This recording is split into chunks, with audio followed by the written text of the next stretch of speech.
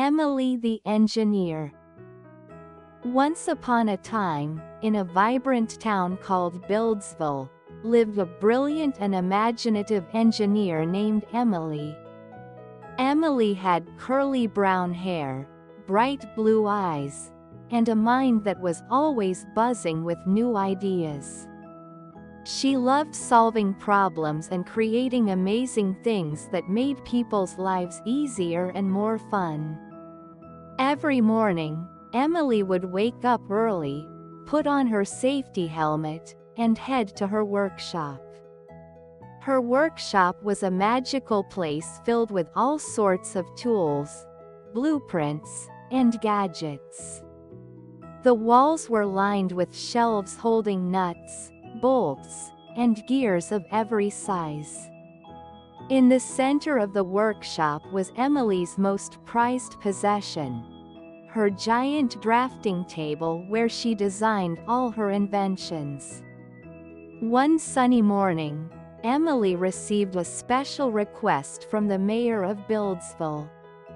The town's bridge, which connected the town to the nearby park, had been damaged in a storm and needed to be fixed quickly so that everyone could enjoy their favorite picnic spot again.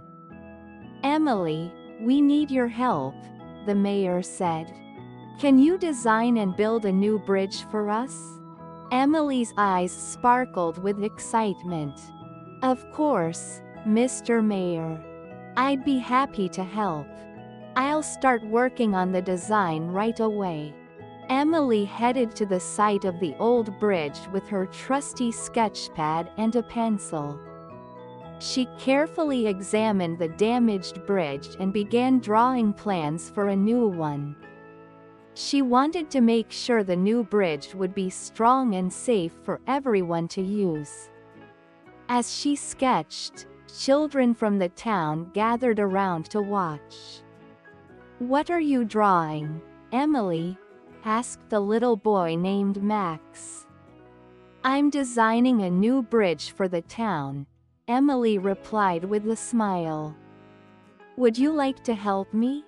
Max's eyes lit up. Yes, please.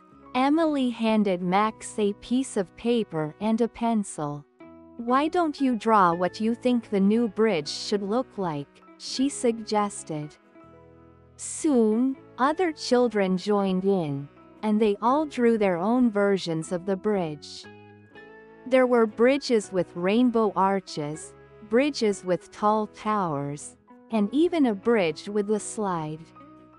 Emily looked at each drawing and praised the children for their creativity. These are all wonderful ideas, she said. Let's use some of these elements in our final design. With the children's input, Emily finalized her design.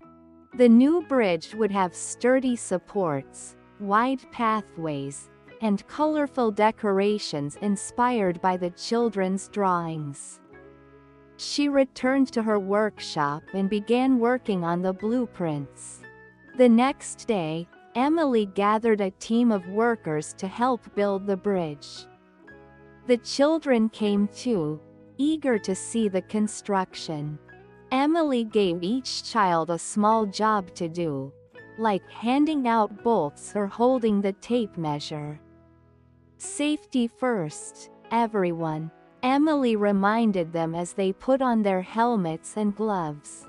The team worked together, following Emily's instructions.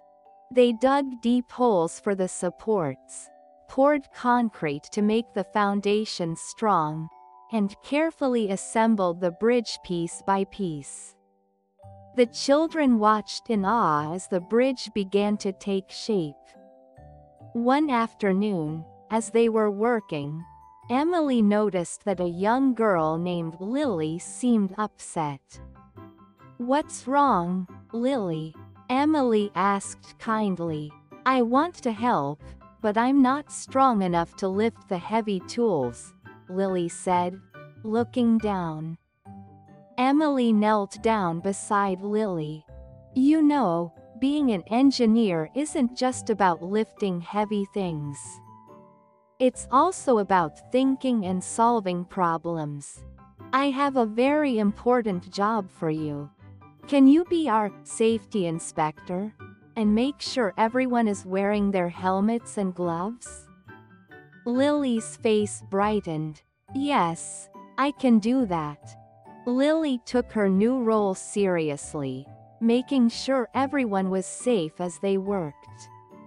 Emily knew that every role was important, and she was glad to see Lily feeling happy and confident. Finally, after many days of hard work, the bridge was complete. It was strong, beautiful, and better than ever before. The townspeople gathered for the grand opening, eager to see the new bridge. The mayor cut the ribbon, and everyone cheered as they walked across the bridge for the first time.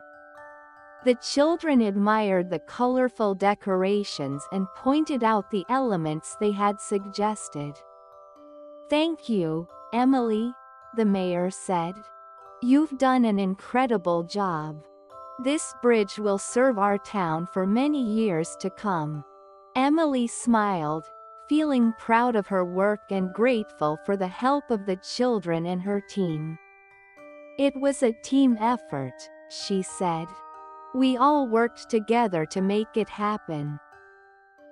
That evening, as Emily cleaned up her workshop, she thought about the day's events.